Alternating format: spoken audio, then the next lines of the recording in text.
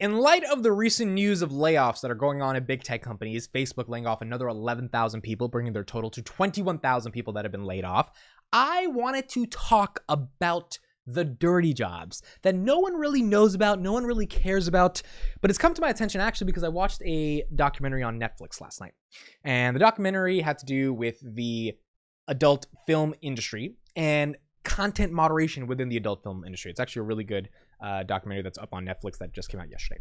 And I usually don't watch stuff on Netflix. I'm not a big Netflix guy. I just opened it up before I was going to sleep. I was like, hey, let's see what's on. And this documentary immediately caught my attention because I was interested in not only the business of or the uh, like the economics of the adult film industry, but I was also interested in kind of the scandal that has been happening in the adult film industry with one of the biggest companies in the world. I'm not going to say their name because I don't know if YouTube likes saying the p word on on videos, um, and sort of some of the internal problems they've been dealing with over the past couple years. And while I was watching that documentary, I realized that there is a big issue that we don't talk about when it comes to jobs, even though we're having all these layoffs. And one of that is digital content moderation. You've got these big, gigantic platforms like Facebook, 3 billion users, YouTube, 2.3 billion users. Um, yeah, you've got Snapchat, you've got uh, TikTok. All these platforms have hundreds of millions of pieces of user generated content uploaded a day. Now, why is that important? That means they don't have to buy any content. Netflix, Spotify, they have to buy all this content and they have to absorb those costs. And they hope people will like them on algorithmically suggestion platforms like Instagram and Facebook and TikTok. People upload, you don't have any content costs. All you have is a cost of figuring out how to create an algorithm to curate that content. Well, if people upload a lot of stuff, then you're going to get a lot of crazy stuff. There are more than 15,000 moderators at Facebook, and most are contracted through third party firms. Uh, Facebook apparently pay, uh, paid um, uh, Accenture $500 million last year to be able to help them with content moderation. The digital content moderation industry is expected to grow to be 13 billion by 2027 with a CAGR of about 10% during 2021 to 2027. So this is an industry that's worth about 13 billion dollars and it's growing relatively well every single year because there's more content that's being created. YouTube has expanded its global workforce to about 10,000 and Twitter has about 1500 moderators. Even though on Twitter the stuff that I'm seeing nowadays that are showing up in my feed, I love the free speech of it uh, portion of Twitter now more than ever. Uh, but I'm literally seeing people get shot in the face on, on Twitter. I mean, like stuff is popping up because I think they've kind of changed how they moderate to be more inclusive of free speech, which I get. But there's some stuff that you probably don't want to see. Uh, a Facebook content moderator can review between 700 and 2,000 posts a day. On Facebook alone, more than 3 million items are reported on a daily basis by AI systems, and 95% of that content is, is, is taken out by AI, but you've still got 5%, which are massive levels of pieces of content of figuring out what to do with it, and it comes through Facebook, or, and it comes through these moderators. Now, this was really interesting to me. The content moderating job takes a serious toll on moderators' mental health, uh, ranging from anxiety to PTSD, and as a result, Facebook recently paid a $52 million settlement covering 11,000 moderators who suffered from PTSD on the job. And that's when I found this article, The Secret Life of Facebook moderators in America. And I believe this has to do with people that live um, in Arizona, if I'm not incorrect, but that is uh, that is where this was taking place. So Chloe is one of the moderators. She has to moderate a Facebook post in front of her fellow trainees because she's training them. And the video depicts a man being murdered. Someone is stabbing him dozens of times while he screams and begs for his life. Chloe's job is to tell the room whether this post should be removed. She knows that Section 13 of the Facebook Community Standards prohibits vi- videos that depict the murder of one or more people. While Chloe, when Chloe explains to the class, she hears her voice shaking. Returning to her seat, Chloe feels an overwhelming ur- urge to sob. Another trainee has gone up to review the next post, but Chloe, Chloe cannot concentrate. She leaves the room and begins to cry so hard she has trouble breathing. No one tries to comfort her. This is the job she was hired to do. And for the thousand people like Chloe moderating content for Facebook at the Phoenix site in Arizona, and for 15,000 content moderators around the world, this is just another day in the office.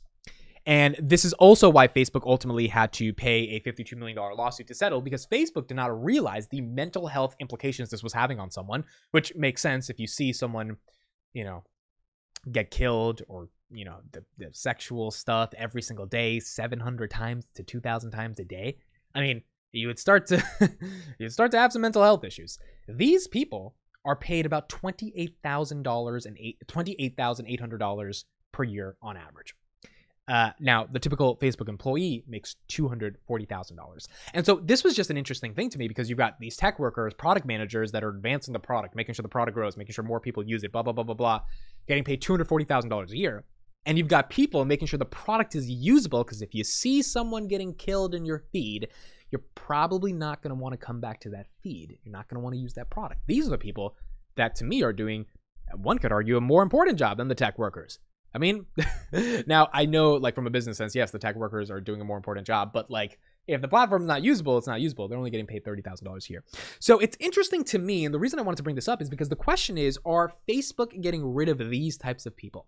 Because if they, or, or, or Google or YouTube, right? All these layoffs that are happening, Google recently laid off 10,000 people. If moderators are starting to go from the workforce, then I think these platforms are going to be very interesting in terms of type, uh, what types of content pops up in your feed.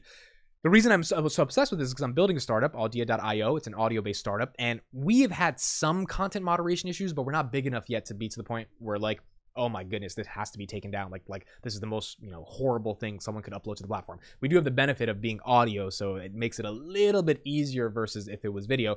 But nonetheless, I mean, you give a platform to the world, the world discovers that platform exists. One of the, you know, cruel parts of humanity that I've been able to realize is that everyone everyone is like like they're gonna if they get a win with a platform they're gonna think the platform is an opportunity to get their agenda and their message across.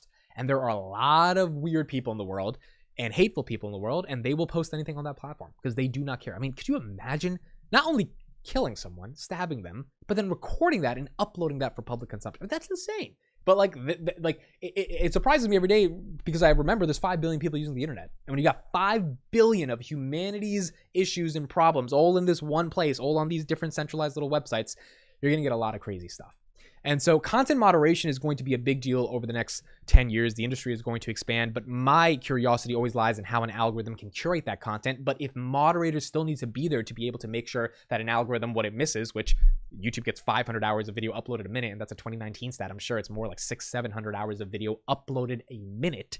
There's going to be some stuff that the platform misses, and if the platform misses that stuff, then you know, ultimately it comes on the moderator to figure that out.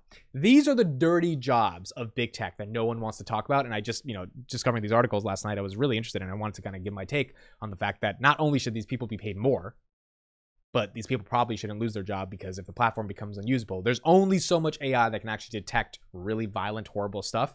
Sometimes you do need a human watching that. And just like the mental health of someone living their life every day, seeing this type of stuff was also interesting to me because I'm like, I don't know if I could go every single day seeing horrible stuff no, I'm not getting paid that much for it, and then go back to sleep like nothing happened. Like that's that, that's a hard day. I mean, people get upset over seeing one bad news article. Imagine seeing some of the stuff that content moderators are seeing. So those are my thoughts. Let me know what you think. Would you ever want a job as a content moderator? Do you think you could handle it? And do you think if the pay was better, you would actually apply for it because it's a easy job to decide if this is good or if this is bad?